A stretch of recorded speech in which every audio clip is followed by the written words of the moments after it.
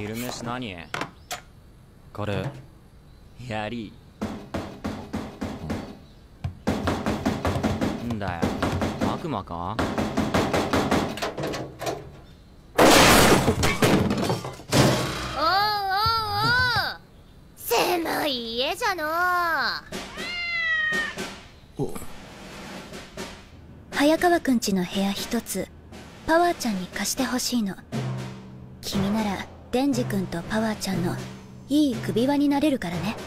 なんで俺の家にヤバいやつばかり集めるんですか？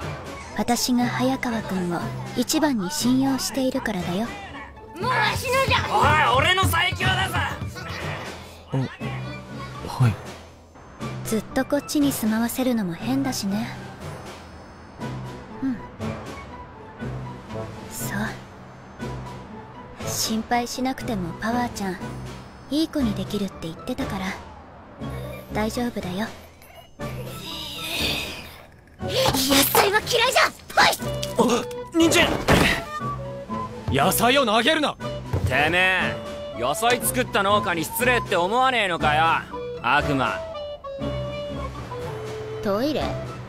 クソはたまにしか流さんはじゃ流せ。くせえんだよ。風呂はたまにしか入らんはじゃ入れ。くせえんだよ。